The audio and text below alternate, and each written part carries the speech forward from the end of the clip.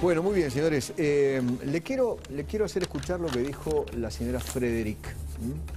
sobre el tema de la inseguridad y los suizos. Dale. Para mí no pasa por no ponernos de acuerdo. Me parece que mientras que creemos que no estamos de acuerdo, Mm. estamos eh, desviando la atención de cuál es el problema Y nos vamos real a vivir que a, otro país, porque no creo que no, esto no, no, porque yo creo que en otros países, Suiza, bueno, Suiza podría ser, seguramente es más tranquilo. Seguramente, este, seguramente. También es más, también es más aburrido. Sí, Todo, eh, sí. eso es Yo verdad. viví en Holanda y eso dicen, inclusive los holandeses. Está bien, pero entre No, y que me tratar- Hay que maten. tratar, Sandra, hay que tratar de hacer de este país el mejor país posible. Estamos trabajando para eso. Ahora, Por supuesto que esto, es no poder parar este tipo de hechos, es, es- es- es- genera una gran impotencia. Comparto la- la- el sentimiento. Bueno, estamos tratando, no se estaría notando, señora Frederick, ¿no? ¿Está Cristian Ritondo? Ritondo, ¿qué tal? ¿Cómo le va? Buenas tardes. ¿Cómo anda? Hola, buenas tardes, Eduardo. El ex La ministro... verdad que le invitaría Sí. a Sabina Félix que recorra el conurbano. Eh, yo vengo de Rafael Calzada. Eh, ahora estoy yendo a otro lugar en Esteban de Echeverría.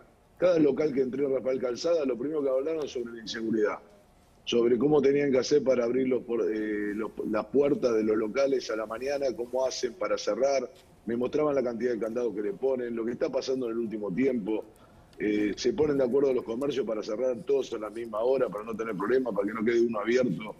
Me parece que hacer comparaciones y decir que no se puede, sí se puede, pero para esto hay que pelear, para eso hay que ponerse los pantalones, seguir luchando contra el narcotráfico, eh, capacitar y reforzar a las fuerzas federales, a las fuerzas policiales en la provincia de Buenos Aires, trabajar en conjunto. No puede ser que la, polic- eh, la policía de la provincia de Buenos Aires hoy no trabaje con las fuerzas federales, no puede ser que los ministros no puedan sentarse a una mesa a dialogar.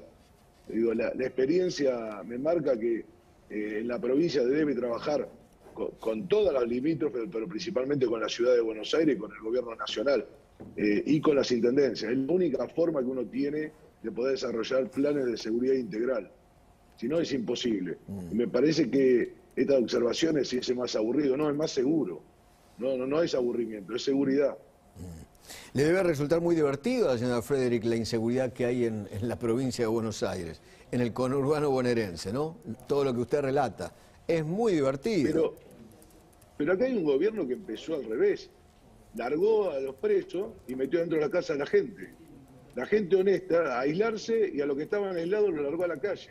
Y hoy tenemos miles de delincuentes que han recuperado la libertad. Claro. Y esos que recuperaron la libertad son los mismos que en los cuatro años peleamos para que estuvieran presos, para que no volvieran a la calle, para que no volvieran a delinquir, para que no volvieran a vender droga, y hoy volvieron a estar en la calle. Y eso hace que, por una cartera, como estamos viendo, esa mujer terminó muerta. Entonces, la verdad es que esa insensibilidad para una persona que tiene que conducir una de las carteras más importantes del país, que tiene que dar ejemplo de pelea y de lucha, es, es una cartera donde uno, porque he pasado por ahí, uno no duerme, porque cada delito lo tiene que sentir como si le pasara a uno o a su propia familia, Claro. que no es imposible. Y esa es la pelea que tiene que dar alguien que decide y acepta ser ministro de seguridad. Es un lugar donde uno tiene que dejar parte de su vida, donde se olvida de todo y que sabe que cada una de las cosas, que todos los datos no son estadísticas, son personas que están atrás de eso. Eh, me, me quedé pensando en esto que usted decía, ¿no? Durante este gobierno se dejó en libertad a miles y miles y miles de delincuentes, ¿no? Eh, seguramente que la cosa estaba tan aburrida, tan aburrida que los liberaron. ¿eh? Así nos divertíamos un poco. La, la inseguridad crea el peor robo de la libertad.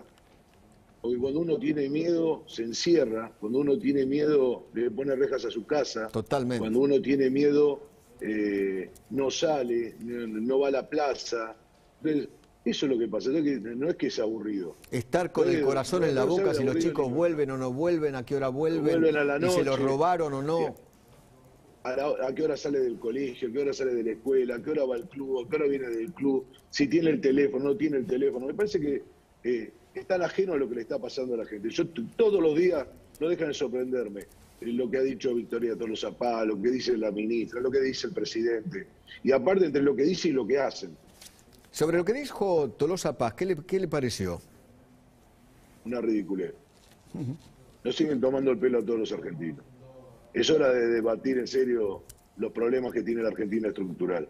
¿Qué tipo de país queremos? Si queremos el de las escuelas cerradas o de las escuelas abiertas, si queremos la Argentina que produce o la Argentina que todos los días tiene más planes y eso es asistencia permanente para pobreza permanente, si queremos una Argentina que produzca, esos son nuestros modelos, si nuestros modelos son como la de ellos, eh, Venezuela, Nicaragua, Cuba, o queremos un país democrático y capitalista que crezca, si lo que queremos es inversión en la Argentina y tener seguridad jurídica, no presentar proyectos que todos los días transformen quién va a ser el procurador, reforma la justicia, en busca de otro sentido que tiene que ver mucho más una reforma judicial que habla de Comodoro Pi, pero que no habla de la justicia que permanentemente se le impide a cientos de ciudadanos cuando lo roban, cuando viene un problema.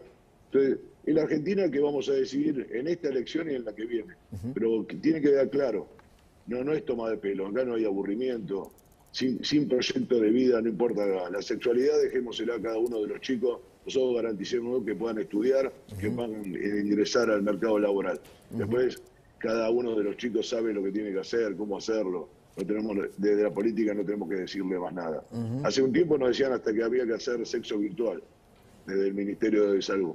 Sí, me acuerdo. Y había que limpiar bien la computadora después, ¿no? Por las dudas. Pero nos dijeron a qué hora teníamos que entrar, a qué hora salir, pasar la General Pase, había que sacar un pasaporte eh, y, mientras hacían fiestas en Olivo. Y después encima lo negaban y la culpa era de la mujer. Sí. Sí. Eh, me gustaría un pequeño análisis. Eh, ¿Fue muy importante o es muy importante para Cambiemos el triunfo en Corrientes?